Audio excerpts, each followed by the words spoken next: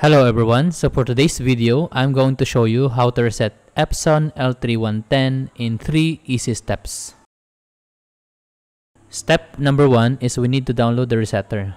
So to download the resetter, simply find the links on the description below. So for example here on our uh, video, just click on the link, click on this button here, more, and then simply click on the link. So here we have downloaded the resetter.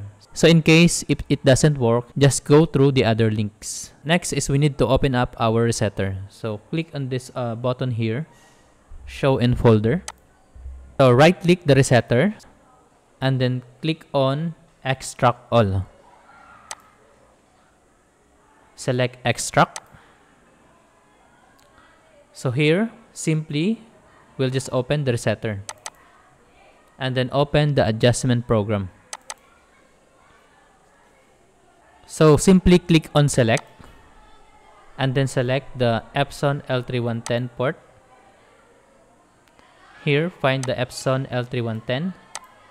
Click on OK. Click on particular adjustment mode.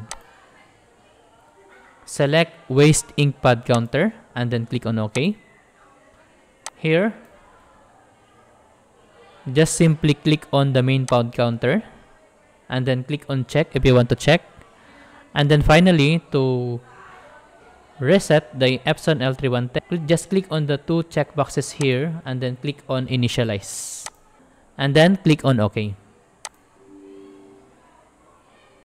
So here it says please turn off the printer.